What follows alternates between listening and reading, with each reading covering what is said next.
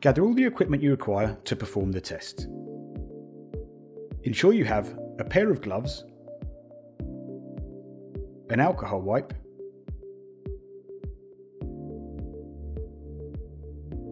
some cotton gauze,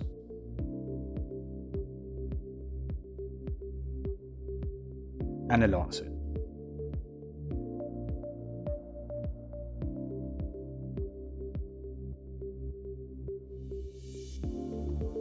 From the box, you will need the analyzer,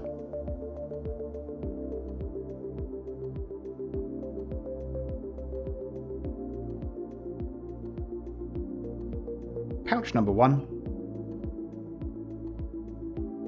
and pouch number two.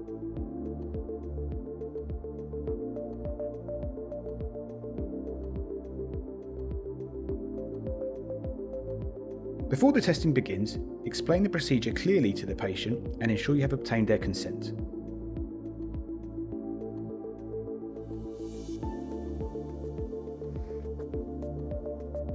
Open pouch number 1 and stand the diluent bottle up, placing the blood collector on the table.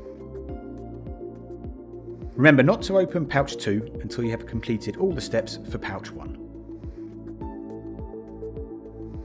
Check the patient's hands are warm clean and relaxed. If they are too cold, it might be difficult to obtain an adequate sample of blood. To warm the hands, ask the patient to rub them together or wash them in warm water. Ask the patient which finger they would like the sample to be taken from. Ideally, this will be the middle finger on their non-dominant hand.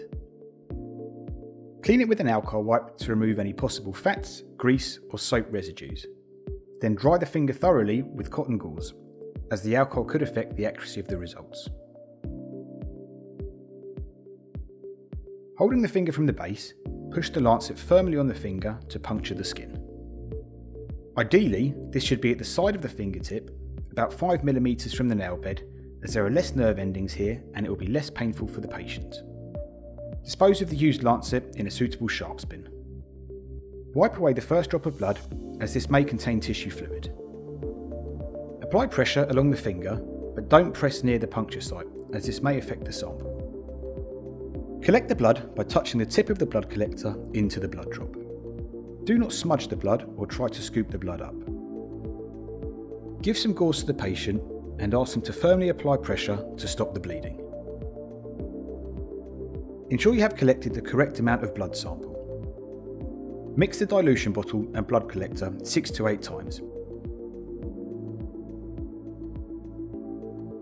After this, stand the bottle on its end while you prepare pouch number 2. Open pouch number 2 and remove the cartridge inside. Ensure the codes match on the cartridge and analyzer and insert the cartridge until you hear it click.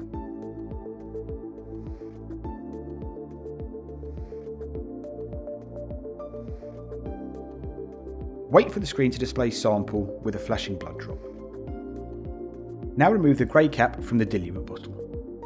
Apply the sample to the cartridge with a quick press and release motion. When you hear the click, it will allow the exact amount of sample to be inserted. Dispose of the dilution bottle in the clinical waste bag. Do not move the analyzer once the sample has been inserted into the cartridge. After 5 minutes, the meter will display three messages.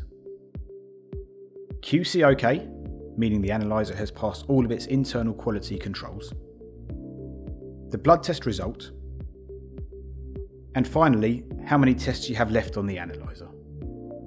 It will cycle through these three readings for about 40 minutes before turning itself off.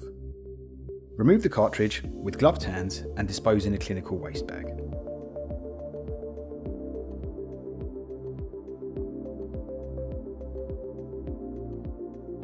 Finally, share the results with the patient and record them in their notes.